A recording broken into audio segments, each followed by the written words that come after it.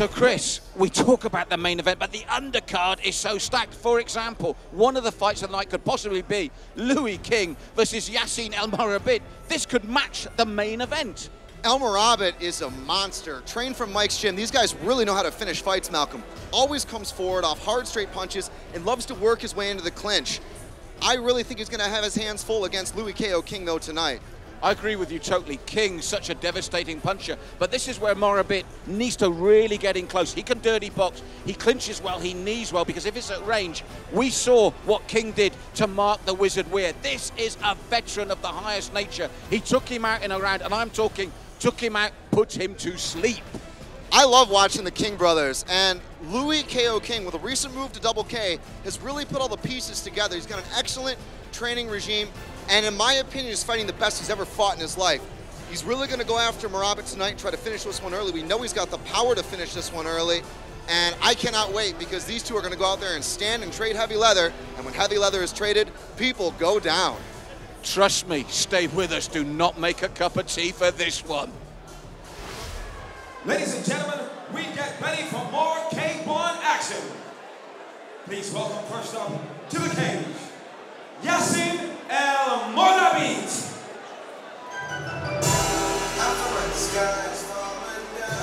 Another big international matchup, and more importantly, two more big, big hitters. This one could be an absolute war as Yassin El Morabit enters the cage, Chris. One of the two individuals in charge of entertaining the audience for this one, Yassin, an absolute animal. King Kong power, and a guy at this weight I'm telling you right now, fighting out of Mike's gym, fast hands, great defense, Malcolm, and very happy to stand inside in the pocket. That's one of the things that impressed me so much about him is when he's up close, he brings the vicious knees in.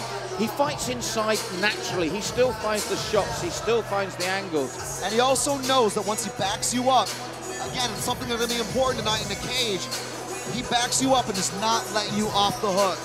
You never get any moment to reset and recover once he's pushed you to the edge of space. And again, with the geometry at play tonight in a slightly different setting, it's going to be a factor, one that could be in his favor. And his opponent, please welcome to cage side, Louis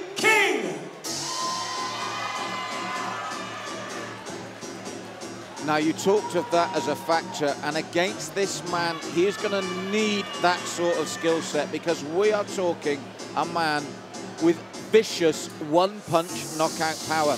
You don't believe me? Ask Mark the Wizard Weir. You want to check an MMA legend? It's Mark the Wizard Weir. One round, clean, clean KO. The King brothers representing a talent renowned for KO power. These guys are dangerous at all times. And I love what we've seen from Louis in recent times. He's had some exceptional wins on some high, high level shows recently. Only last month, Chris. I'm telling you, this guy's gonna be so confident. Pressure, not a factor. Phoenix Fight Night, a clear opportunity. A guy like Yassin El Morabit across in the ring, this guy loves every minute of it. So Recently swapping a double K gym. Shout out to Kieran Kettle and the crew there in the corner, one of the very best stand-up coaches right now in the country. And he's really worked the magic and fine-tuning the powerful ability of Louis K.O. King to a very disciplined approach. He'll be able to go out there with a game plan tonight, a game plan that'll be entertaining, but a game plan that'll land big power in a way where he can capitalize against a very dangerous opponent in Yassin. Well, the thing is, great fighters don't always become great coaches. But Kieran Kettle has made that transition superbly, Chris. Look, there's been times when the King guys will come out so aggressive, will leave themselves open. But this guy's been really working on his checking ability, really responding well with his hands when his opponent pressures. So we're going to see it all go down tonight. Louis K.O. King taking on Yassin El Morabit. Let's go back to Buddy Johnson. Ladies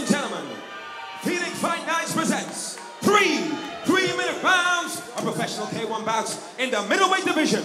Introducing first, fighting out of the blue corner, weighed in at 86.5 kilograms and represents Mike's Gym. Give it up for Yassin El Morabit.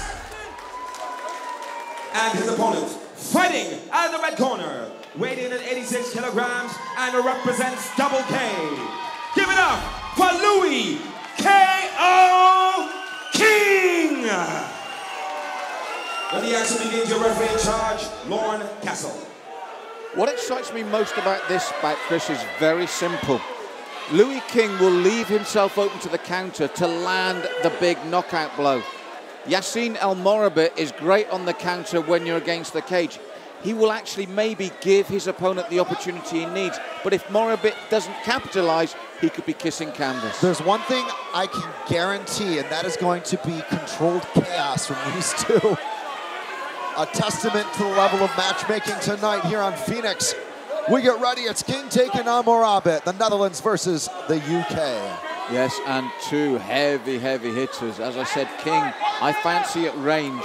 If I was Morabit, I'd get inside, work him inside, because at range, King carries the one thing you can't give someone, they just have to have it natural, raw power. I love how King is standing there, leaning off the center line. Watch for that right kick to come in again when he leans to the left.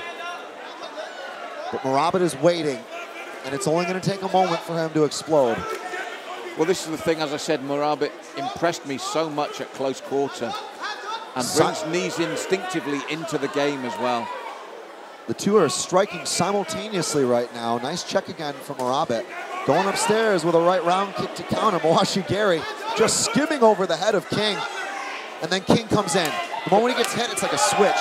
This is the thing that so impressed me, the way he's able to stay in the pocket and make him just miss so that he can counter. I saw it when I was I was researching him and I thought, wow, the power he carries is also, as you said, he's developed technically as well under KK. He went for the inside low kick and actually pulled it back because he realized that Yassin was going to check it.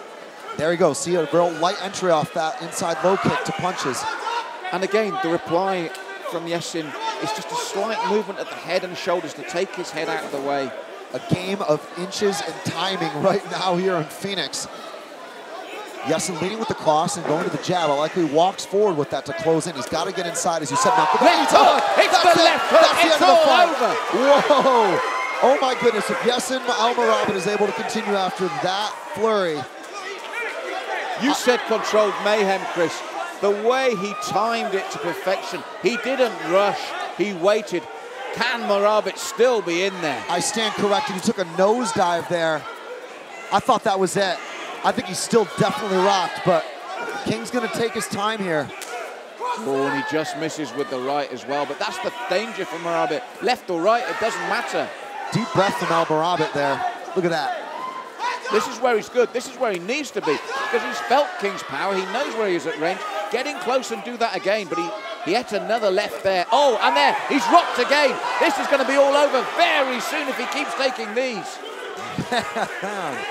El Morabit is one tough customer because Louis King has thrown everything but the kitchen sink at him, and he's still standing, Malcolm. Oh, on his oh! own right hand. Incredible response. Beautiful body shot. This is where he's good. This, and I see the knee comes in instinctively. That's where Morabit needs to keep it now. He's going to be warned about how long he clinches. But you've seen exactly where he needs to keep it, Chris, to counter Louis King. The mouthpiece. Oh! He's not countering that one. That left hand, it's all over. Unbelievable. Chris, so much in so little time. Morabit coming back. But that last left hook was from hell. Morabit got clipped. The mouthpiece actually slipped out. Morabit somehow dragged it back in with his tongue and teeth and then ate another punch. That left hook came all the way torqued from the hips of King. Unbelievable. The way that guy creates power is a spectacle to behold, Malcolm. Incredible. Can we have our sponsor Rihanna fight here? Our sponsor. Round of applause for both fighters this evening. Come on! This bout ended 2 minutes 56 seconds of the first round. Your winner by knockout in the red corner,